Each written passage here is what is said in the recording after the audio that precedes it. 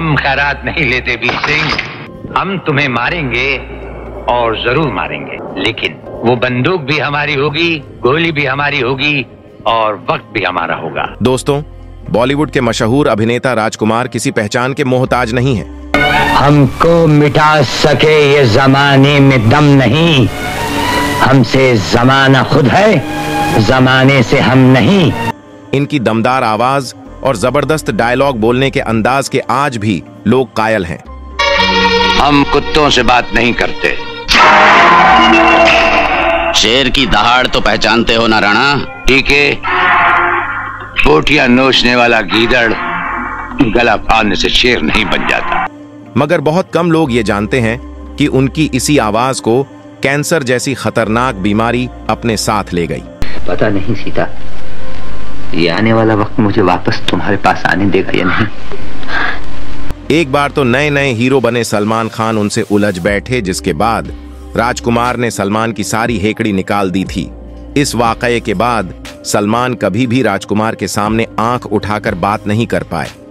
दोस्तों, बॉलीवुड में राजकुमार साहब हमेशा अपने सख्त मिजाज और दमदार डायलॉग डिलीवरी के लिए जाने जाते थे।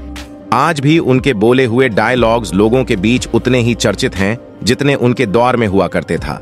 बॉलीवुड के इस राजकुमार का असली नाम कुलभूषण पंडित था, जो 8 अक्टूबर 1926 को पाकिस्तान के बलूचिस्तान में पैदा हुआ था।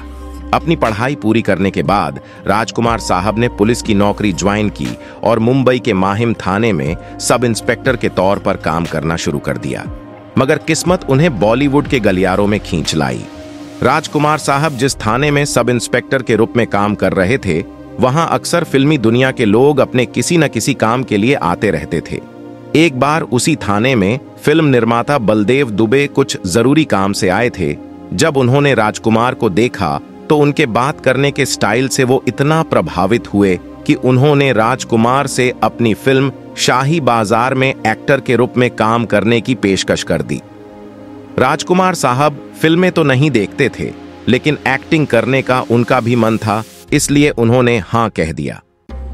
राजकुमार साहब की पहली फ़िल्म तो फ्लॉप हो गई, लेकिन इसके बाद भी राजकुमार साहब को फ़र्क नहीं पड़ा। राजकुमार साहब की एक्टिंग लोगों को खूब पसंद आई थी और उसके बाद राजकुमार साहब को खूब फ़िल्मों के ऑफ़र आने लगे थे। राजकुमार साहब ने दूसरी फ़िल्म करने की एक शर्त रख दी कि वो फ़िल्म तभी साइन करेंगे जब उनको फ़ीस बढ़ाकर एक लाख मिलेगी। लोगों ने पूछा कि, राजकुमार साहब, आपकी पहली फ़िल्म तो फ्लॉप हुई थी, फिर आप फ़ीस क्यों बढ़ा रहे हैं? तो राजकुमार साहब का जवाब था, दोस्त, फ़िल्म फ्लॉप हुई तो क्या हुआ? मैं तो हिट हो गया हूँ ना? राजकुमार साहब के अलावा शायद ही किसी और स्टार ने अपने शुरुआती दौर में ये शर्त रखी होगी। एक पार्टी का वाकया है जब राजकुमार साहब ने संगीतकार बप्पी लहरी को मंगलसूत्र पहनने की सलाह दे डाली थी। असल में हुआ यह था कि राजकुमार साहब एक पार्टी में गए थे, जहाँ बप्पी लहरी भी पहुँचे हुए थे। अब हम सब जानते हैं कि बप्पी लहरी कैसे सोने के आभूषणों से लदे रहते थे, वहाँ भी वो उसी तरह से पहुँचे हुए थे। बात करते हुए राजकुमार साहब ने मज़ाक में बप्पी लहरी को कह दिया कि, वाह, शानदार एक से एक गहने पहने हो, सिर्फ़ मंगल सूत्र की कमी रह गई है, वो भी पहन लेते। ये सुनते ही बप्पी दा का मुँह खुला का खुला ही रह गया। एक बार तो नए नए हीरो बने सलमान खान उनसे उलझ बैठे, जिसके बाद राजकुमार ने सलमान की सारी हेकड़ी निकाल दी थी। राजकुमार की तरह ही सलमान को भी बॉलीवुड में उनके एटीट्यूड के लिए जाना जाता है। ऐसे तमाम किस्से हैं, जब सलमान खान ने सामने वाले की बोलती बंद करा दी है। हालाँकि एटीट्यूड के मामले में अगर सलमान खान सैर है तो राजकुमार सवा शेर थे। ये किस्सा 1990 के आसपास उस वक्त का है जब सलमान खान बॉलीवुड में नए नए हीरो बने थे। फ़िल्म मैंने प्यार किया, की सफलता के बाद सलमान खान का घमंड सातवें आसमान पर था। उसी दौरान फ़िल्म मैंने प्यार किया के लिए एक सक्सेस पार्टी राखी गई, जिसमें सलमान की फैमिली के अलावा एक्टर राजकुमार को भी इनवाइट किया गया था। पार्टी में सलमान खान लेट पहुँचे थे, क्योंकि सलमान ने उस वक्त नया नया स्टारडम देखा था, और उनमें नशा करने की भी आदत थी। ऊपर से ये सलमान की फ़िल्म मैंने प्यार किया कि सक्सेस पार्टी थी तो इसमें वे ड्रिंक करके ना पहुँचे। ऐसा भला कैसे हो सकता है? ड्रिंक के साथ सलमान को उस वक्त सक्सेस का भी नशा हो गया था, और वे बड़ों से बात करने की तमीज तक भूल चुके थे। सलमान जब पार्टी में पहुँचे तो उस दिन उनका एटीट्यूड जरा कुछ ज़्यादा ही था। सलमान के वहाँ पहुँचते ही सूरज बटजात्या ने सलमान को सभी मेहमानों इंट्रोड्यूस करवाना शुरू कर दिया।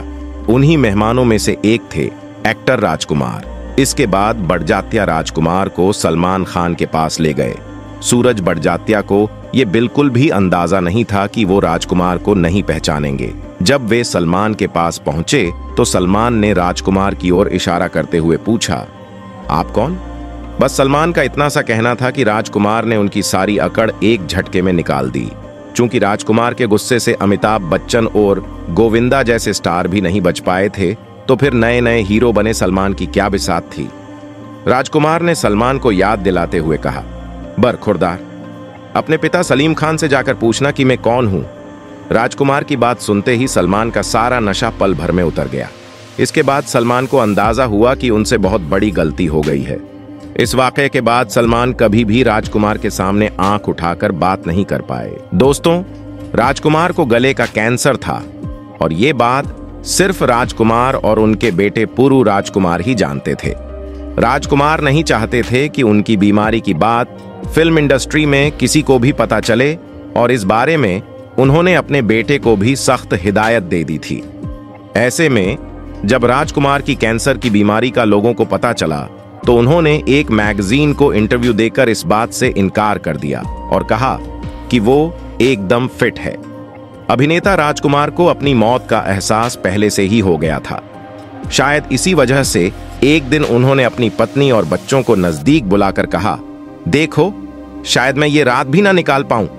मैं चाहता हूँ कि मेरी पूरी फैमिली को बुला लिया जाए और मेरे मरने के बाद सारी रस्में अदा करके घर वापस आकर बाकी लोगों को सूचना दी जाए।